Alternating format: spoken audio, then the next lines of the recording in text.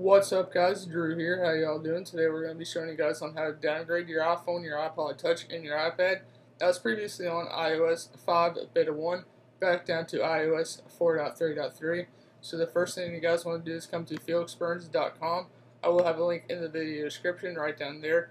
So definitely make sure you guys check it out because you will need the firmware to downgrade your iPhone, iPod Touch, or iPad. So pretty much what you want to do is come to the site and then simply click the device you wish to downgrade. So today we're going to be showing you guys this on the iPad too.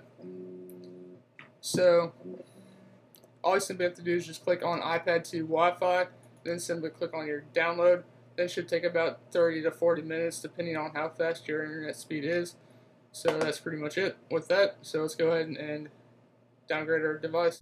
Alright guys, so the next step is to put our device in DFU mode. So you want to have your device ready and you want to have your USB cable plugged up to your computer. So you want to go ahead and put it in the 30 pin connector. And now you want to go ahead and hold your power in the home button. Keep holding it until it powers off completely. Alright, go ahead and release the power and keep holding the home. Okay, now your device should be in DFU mode, so now let's go ahead and jump back to the computer. Okay guys, so after your device is in DFU mode, you want to go ahead and make sure it is still plugged up to the computer. Alright, so the next step is you guys want to go ahead and hit on Restore in Options. So click Option, then Restore. Then you should get this little menu right here. And right here is our iPad 2 firmware. Go ahead and click on Choose. Then it says iTunes will erase and restore iPad to iOS 4.3.3 and we want to hit restore, that's what we want. Then it should extract the software and just give it some time.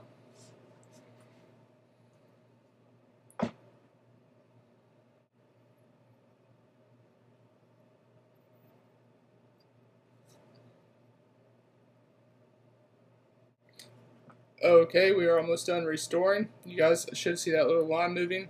That means we're almost done. Just give that a few seconds. Almost there. And there you guys go. That's how you downgrade your iPhone, your iPod Touch, and your iPad from iOS 5 Beta 1 back down to iOS 4.3.3. If you guys followed my instructions, you guys should have successfully downgraded back down to iOS 4.3.3. So let's go ahead and show you guys here that I am on iOS 4.3.3 and not iOS 5. So let's go into settings. Let's go to general. Let's go into about. And right there it is, version 4.3.3. It's simple as that.